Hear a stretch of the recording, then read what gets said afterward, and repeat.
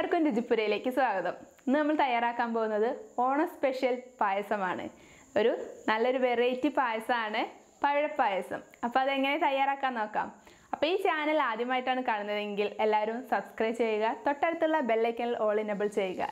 എന്നാലാണ് ഞങ്ങളിടുന്ന എല്ലാ വീഡിയോസിന്റെയും നോട്ടിഫിക്കേഷൻ നിങ്ങൾക്ക് കിട്ടുകയുള്ളൂ. അപ്പോൾ നമുക്ക് പഴപ്പായസം എങ്ങനെ ഉണ്ടാക്കാൻ നോക്കാം. അപ്പോൾ നമുക്ക് പായസം ഉണ്ടാക്കാം. അപ്പോൾ നമ്മളിന്നൊരു വെറൈറ്റി പായസമാണ് ഉണ്ടാക്കുന്നത് എപ്പോഴും ഈ പാലടയും സേമിയൊക്കെ അല്ലേ ഉണ്ടാക്കുക? അപ്പോൾ നമുക്കിന്ന് ചൗവരി പായസം ഉണ്ടാക്കാം. അപ്പോൾ അതിനുവേണ്ടി ഞാൻ ഒരു കടായി വെച്ചിട്ടുണ്ട്. ഇനി നന്നായി ചൂടാവട്ടെ പാത്രം. അപ്പോൾ നമ്മളെ കടായി നന്നായി ചൂടായിട്ടുണ്ട്. അപ്പോൾ നമുക്ക് ഒരു ടീസ്പൂൺ നെയ്യ് ചേർത്ത് കൊടുക്കാം. ഇത് നന്നായി നെയ്യ് ചൂടാവട്ടെ. അപ്പം നെയ്യൊക്കെ ഇത് നന്നായി ചൂടായിട്ടുണ്ട്. അപ്പോൾ നമുക്കിതിലേക്ക് ചൗവരി ഇടാം. അപ്പോൾ നമ്മുടെ പവിഴപ്പായസത്തിലെ മെയിൻ ഇൻഗ്രീഡിയൻസ് പറയണത് നമ്മുടെ ചൗവരിയാണ്. അപ്പോൾ ഇതിന് ചില സ്ഥലങ്ങളിൽ സാബുനരി എന്നും പറയും. അപ്പോൾ നമുക്ക് ഒരു കപ്പ് ചവ്വരിട്ട് കൊടുക്കാം. ഇനി നമുക്കിതൊന്ന് റോസ്റ്റ് ചെയ്തെടുക്കുകയാണ് വേണ്ടത്. മീഡിയം ഫ്ലെയിമിൽ ഇട്ടിട്ടാണ് ഇത് റോസ്റ്റ് ചെയ്തെടുക്കണത്. അപ്പോൾ ഇത് ഒന്നും ഒട്ടിക്കെടുക്കാതിരിക്കാൻ വേണ്ടിയിട്ടാണ് ഇങ്ങനെ റോസ്റ്റ് ചെയ്തെടുക്കണത്. അപ്പോൾ നമ്മൾ രണ്ട് മിനിറ്റോളം ഇത് നന്നായി ഫ്രൈ ചെയ്തെടുത്തിട്ടുണ്ട്. ഇനി ഇതിലേക്ക് നമുക്ക് ആവശ്യത്തിനുള്ള വെള്ളം ഒഴിച്ചു കൊടുക്കാം. അപ്പോൾ നിങ്ങൾക്ക് വേണമെങ്കിൽ കുക്കറിൽ വേവിച്ചെടുക്കാം. പക്ഷേ അത് നല്ല വെന്തോ കട്ടായി കിട്ടും. അതുകൊണ്ടാണ് ഞാൻ കടായിൽ വേവിക്കണത്. നന്നായി ഇളക്കി കൊടുത്തിട്ട് ഇതൊന്ന് വെന്ത് കിട്ടണം നമുക്ക്. അപ്പോൾ നമ്മളിത് ഇടയ്ക്കിടയ്ക്ക് ഒന്ന് ഇളക്കി കൊടുക്കണം. പിന്നെ ഇത് വെന്ത് വരുമ്പോഴേക്കും വെള്ളം കുറവാണെന്ന് തോന്നിയാൽ കുറച്ചുകൂടി വെള്ളം ഒഴിച്ചു കൊടുക്കാൻ മറക്കരുത്. അപ്പോൾ അതാ നമ്മളുടെ ചവരിയൊക്കെ നന്നായിട്ട് വെന്തിട്ടുണ്ട്. നമുക്ക് ഇനി ഇതിലേക്ക് ഒരു അര കപ്പ് മിൽക്ക് മെയ്ഡ് ചേർക്കാം. അപ്പോൾ നല്ലൊരു ടേസ്റ്റും മധുരമൊക്കെയാണ് മിൽക്ക് മെയ്ഡ് ചേർത്ത് നമുക്ക് പായസത്തിനൊക്കെ ഒരു പ്രത്യേക ടേസ്റ്റ് കിട്ടും. ഇനി നന്നായി മിക്സ് ചെയ്ത് കൊടുക്കുക. മീഡിയം ഫ്ലെയിമിലിട്ടിട്ട് ഒരു രണ്ട് മിനിറ്റോളം നമുക്ക് നന്നായിട്ട് മിക്സ് ചെയ്ത് കൊടുക്കാം. ഇപ്പോൾ രണ്ട് മിനിറ്റോളം നമ്മൾ നന്നായിട്ടിത് മിക്സ് ചെയ്ത് കൊടുത്തിട്ടുണ്ട്.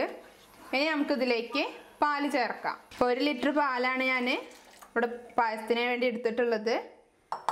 അപ്പോൾ ഒരു ലിറ്റർ പാൽ മുഴുവൻ നമുക്ക് ഒഴിച്ചു കൊടുക്കാം. നന്നായി തിളക്കട്ടെ. അപ്പോൾ നന്നായി മിക്സ് ചെയ്ത് കൊടുക്കുക. അല്ലെങ്കിൽ നമ്മുടെ ചവ്വരി കട്ട കുത്തി കെടുക്കുള്ളൂ. അപ്പോൾ നമ്മുടെ പായസമൊക്കെ തിളച്ച് വന്നിട്ടുണ്ട്. അപ്പോൾ ഞാൻ ഇതിലേക്ക് രണ്ട് ഏലക്കായ ഇതുപോലെ ചെറുതായിട്ടൊന്ന് ചതച്ചിട്ട് ഇട്ട് കൊടുക്കുകയാണ്. നന്നായി ഇളക്കി കൊടുക്കുക. പിന്നെ രണ്ട് മിനിറ്റ് കൂടി നന്നായി കിടന്ന് തിളക്കട്ടെ. നല്ല തിള വരട്ടെ. പിന്നെ നമുക്കിതിലേക്ക് ആവശ്യത്തിനുള്ള മധുരം ചേർക്കാം. അപ്പോൾ ഞാൻ ഇവിടെ ഒരു അഞ്ച് ടേബിൾ സ്പൂൺ പഞ്ചസാരയാണ് എടുത്തിട്ടുള്ളത്. അപ്പോൾ ഓരോരുത്തരുടെ മധുരത്തിനനുസരിച്ച് ചേർക്കുക. അപ്പോൾ നമ്മൾ നേരത്തെ മിൽക്ക് മെയ്ഡ് ചേർത്തിട്ടുണ്ട്. അത് അത്ര മധുരം പോരാ നമ്മുടെ പായസത്തേക്ക്. അതുകൊണ്ടാണ് ഞാൻ വീണ്ടും മധുരം ചേർത്തിട്ടുള്ളത്. അപ്പോൾ ഓരോരുത്തരും മധുരത്തിനനുസരിച്ചിട്ട് ചേർക്കുക. അപ്പോൾ നല്ല ടേസ്റ്റുള്ള ഒരു പായസമാണിത് അപ്പോൾ ഈ ഓണത്തിന് എല്ലാവരും ഇത് ട്രൈ ചെയ്ത് നോക്കുക. അപ്പോൾ നമുക്ക് വീണ്ടും വീണ്ടും ഉണ്ടാക്കി കുടിക്കാൻ തോന്നും. അത്ര ടേസ്റ്റാണ് ഈ പായസത്തിന്.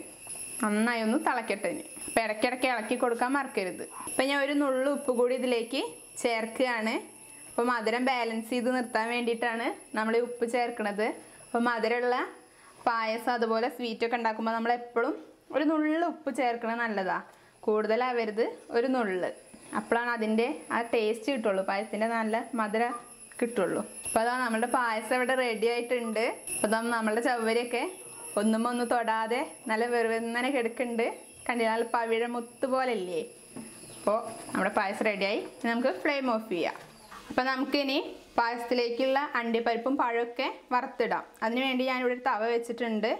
അതിലേക്ക് രണ്ട് ടീസ്പൂൺ നെയ്യാണ് ചേർക്കുന്നത്. അപ്പോൾ ഈ പായസത്തിൽ മുന്തിരി ചേർക്കുന്നില്ല. നമ്മൾ പഴവും അണ്ടിപ്പരിപ്പുമാണ് വറുത്തിടുന്നത്. നെയ്യ് നന്നായി ചൂടാവട്ടെ. അപ്പോൾ നെയ്യ് നന്നായിട്ട് ചൂടായിട്ടുണ്ട് നമുക്കിതിലേക്ക് പഴം ചേർക്കാം. അപ്പം നേന്ത്രപ്പഴമാണ് എടുത്തിട്ടുള്ളത്.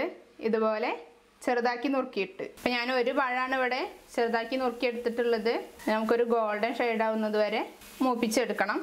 രണ്ട് ഭാഗവും മറിച്ചിടണം. അപ്പോൾ അതാ നമ്മുടെ പഴമൊക്കെ ഒരു സൈഡ് കളർ മാറി തുടങ്ങി ഒരു ഗോൾഡൻ കളറായി തുടങ്ങി നമുക്കിത് മറിച്ചിടാം. അപ്പോൾ നല്ല പഴുത്ത പഴമാണ് നമ്മൾ എടുക്കേണ്ടത്. അപ്പോൾ നമുക്കിതൊക്കെ മറിച്ചിടാം. അപ്പോൾ നമ്മുടെ പഴമൊക്കെ നല്ല ഗോൾഡൻ ഷെയ്ഡായി വന്നിട്ടുണ്ട്.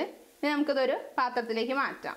ഇനി നമുക്കിതിലേക്ക് അണ്ടിപ്പരിപ്പും കൂടി ഇട്ടിട്ട് വറുത്ത് കോരിയെടുക്കാം.